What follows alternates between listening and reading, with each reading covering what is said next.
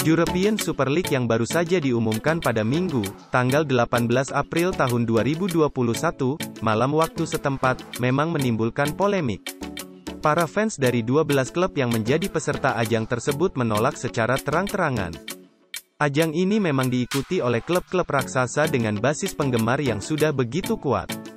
Klub-klub seperti Manchester United, Arsenal, Chelsea, Liverpool, Tottenham Hotspur, Manchester City, AC Milan, Inter Milan, Juventus, Real Madrid, Barcelona, dan Atletico Madrid tentu terkenal dengan jumlah penggemar yang besar.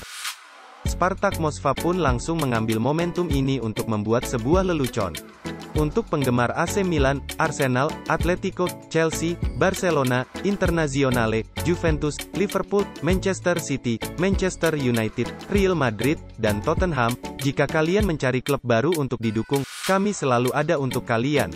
Tulis Spartak seperti dilansir bolasport.com dari akun media sosial mereka. Unggahan tersebut langsung saja mengundang perhatian banyak pengguna Twitter. Hingga saat ini, European Super League memang tidak mencakup liga-liga dari setiap negara di benua Eropa. Anggota yang sudah bergabung berasal dari tiga liga besar yaitu Inggris, Spanyol, dan Italia.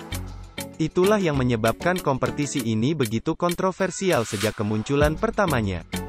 Ajang ini dianggap hanya akan memecah belah klub sepak bola. Pasalnya, klub-klub yang bergabung terkenal sudah memiliki keuangan yang kuat. Adanya European Super League dikhawatirkan semakin memperlebar jarak antara klub kaya dan yang kondisi finansialnya belum stabil. Sepak bola dianggap sudah tidak lagi mementingkan para penggemar dengan adanya kompetisi baru ini. Terima kasih sudah menonton. Silakan subscribe, like, dan jangan lupa komen di bawah ya bola spotter.